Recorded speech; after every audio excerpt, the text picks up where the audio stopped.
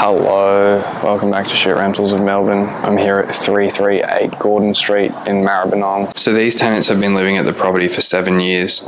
Um, the property is pretty fucked, you'll see shortly. They've asked for a number of repairs over the course of their tenancy uh, they haven't been actioned. And then one day they got a rent increase notice from Prime Residential Property Management. The tenants rightfully thought that, hey, a rent increase is a bit on the nose considering the rental property doesn't meet so many of the minimum rental standards in Victoria. The tenant sent the agency a breach notice to fix some of the glaring issues with the property and the agency has responded with an eviction notice. The eviction notice states that the tenants are being evicted under 91ZX of the Residential Tenancies Act and that they have until 22 July to vacate the premises. An eviction under Section 91ZX of the Residential Tenancies Act requires either a building permit from the council, which they do not have, or a contract from a suitably qualified tradesperson, which they have not provided. The switchboard's fucking older than me Watch your step. Here's the front door. the gas is no longer leaking, which I guess is a plus. Check this out, I guess. So this is the entrance to the house. Um, the microphone's up here, so I don't know if you can hear the squidges, but um,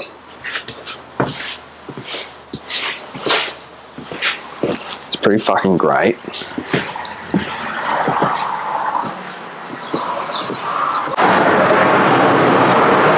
If you ever wanted to know what a leak looks like on the thermal camera, it looks like this.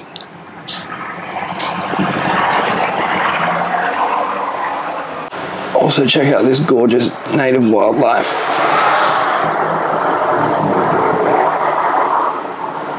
It's a protected species.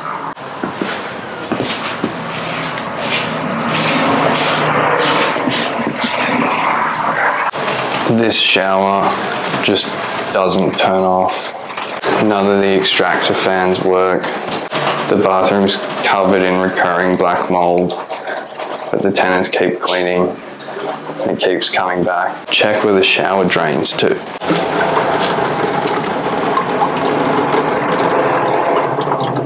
That's the shower drain.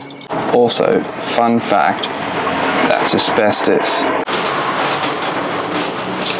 couldn't have said it better myself. This place is quite literally falling apart. I don't know if you can see that on the roof. But it just looks good. Also check this light out.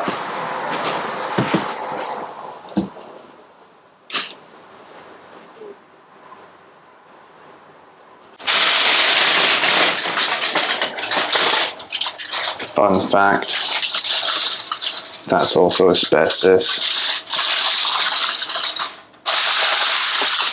Right above the fucking oven. You may know Prime Residential from videos such as this. I'm just so busy and I cannot come to the phone right now. Literally, don't even leave.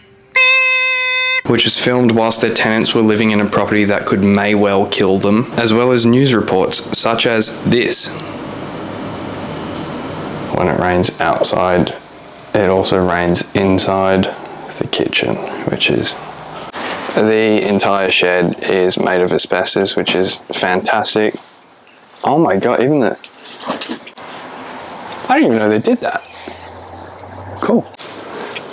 Uh, so the shed's starting to fall apart, and as you can see, that's the outside, that's the inside, and a junction box. So that's going to end really well. So these tenants have lived in the area for seven years and have just been evicted.